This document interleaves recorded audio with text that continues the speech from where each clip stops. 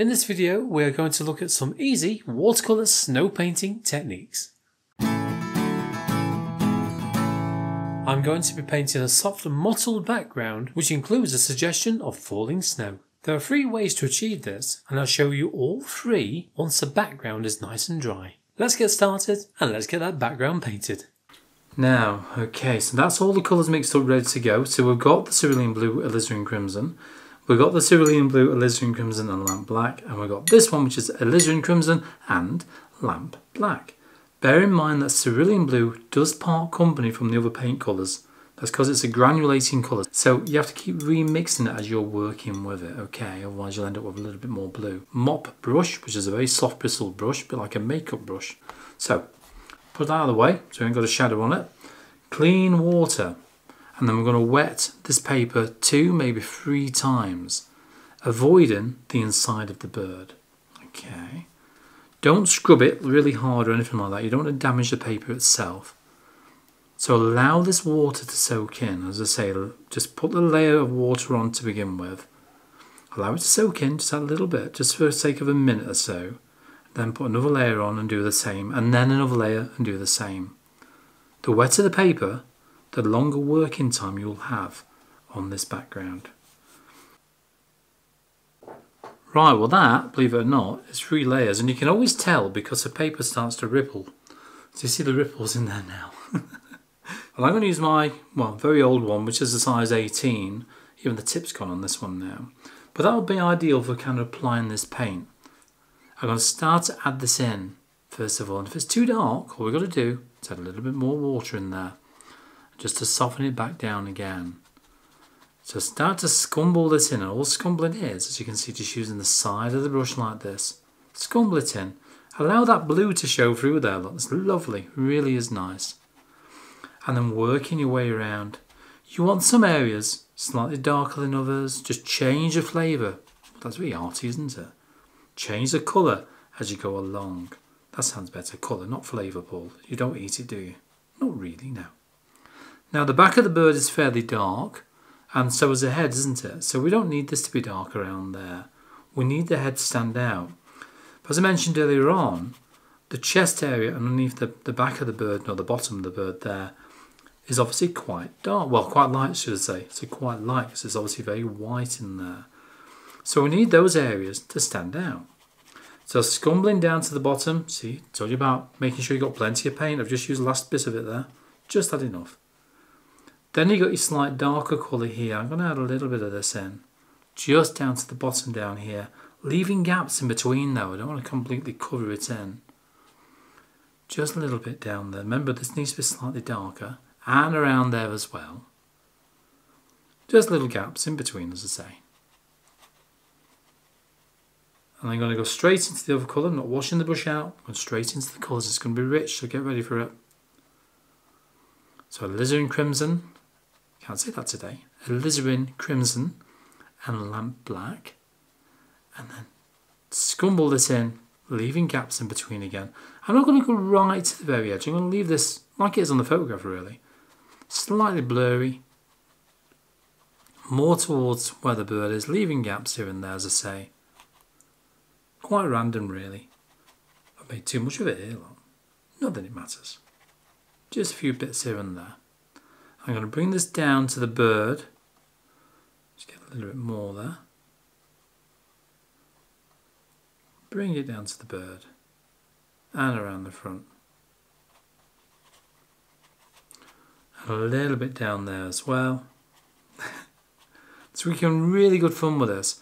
But as I mentioned as well, you don't want too many colours because if too many colours it looks very confusing, far too colourful.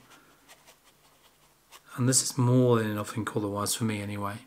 Depends how you want the painting to look of course. You can do this background whatever way you want it to be. Now I'm going to very semi-dry this brush out as you can see in the corner of the screen there. And I want to lift off some paint just where this branch continues along there. So lift it, drag towards the masking fluid and this will give you a soft outline because it's still wet this paper. You find this outline just just gently dry on its own accord, just when it's ready, and to leave a bit of a soft, pale area within that section there. That's all I want to do. Also, don't forget to click on that subscribe button down below and don't forget that bell icon as well, just so you'll never miss one of my YouTube videos. The shine goes off the paper, that point you want to leave it be, because then you start adding kind of cauliflower marks into the paper as well. Right, I've taken the tape out of the way and you can see it's still got the shine on it, but it's starting to dry. And because it's starting to dry, I'm going to get my old acrylic mixing brush, load it with water, get my kitchen roll, give it a tap, and then very lightly flick. We've done this before with other paintings as well. Just not too much though, don't go mad with this. You want this as the painting starts to dry. If it's too wet, it could just blend in. I want to create a feeling, just a feeling, I've got a feeling of snow coming down. If it doesn't take when you first do one of these kind of passes, very lightly flicking like that, that's all I'm doing, then just give it a chance, give it another minute or so, then come back in and try again. Try around the kind of edges first of all. See, that's not taking there, that means it's still too wet. And around there. Just a few. Doesn't matter if this goes on the bird. It's only water, clean water is all I'm using. And then down here. Look at that for an effect, lovely. Because we'll be adding some snow effects into this as well once it's dry. I think that should just about do. Okay, now don't dry this with a hairdryer whatever you do because if you do you risk sealing that masking fluid into the paper because it will encourage the masking fluid to soak underneath the stamp paper and dry really hard in there. So let it dry naturally at room temperature for two, maybe three hours. You know when it's dry because it goes nice and flat all over again, which is what you want it to do, especially if you're using a, a block pad like this. Okay, so it's nice and dry. So what I'm going to do is have a look at that a minute and I can see there's really, really, really, they are blocking for block, it's really flat on the paper and that's what we're looking for, something like that, a very kind of flat finish to it.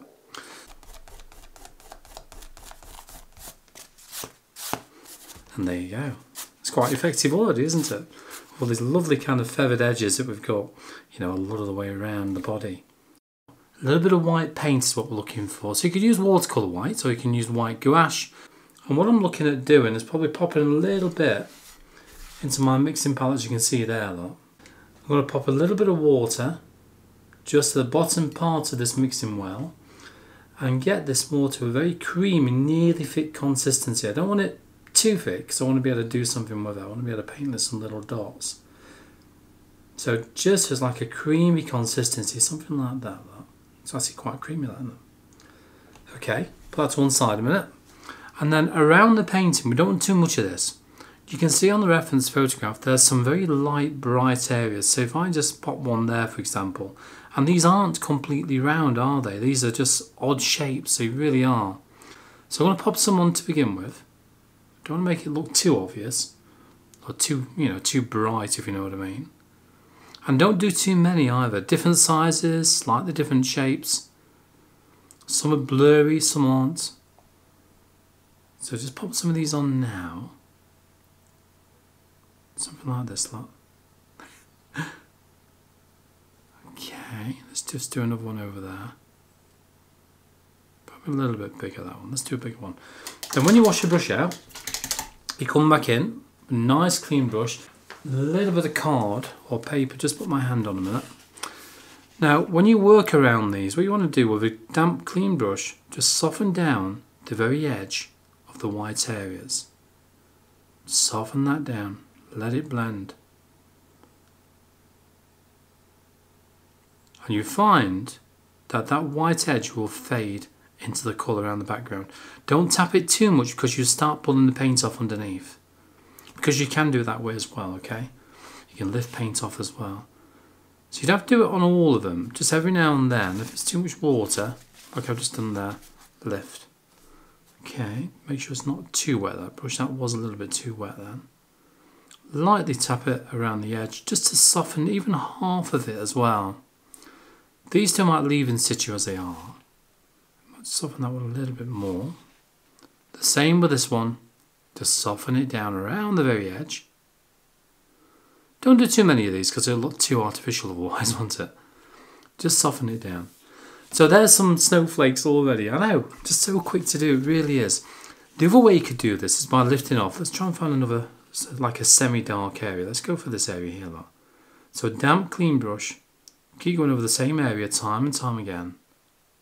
Keep going, keep going, keep going, keep going, keep going. And then lift. It's left a little tiny pale mark there. So you can add, you can do probably a couple of these and you've got to wash the brush out again. Because all you're doing is transferring one colour paint onto another area, aren't you? So just make sure you keep washing that brush. And there's another little one there as well. So different ways you can add these snow effects. But as I mentioned, don't put too many in. Just want just a few here and there.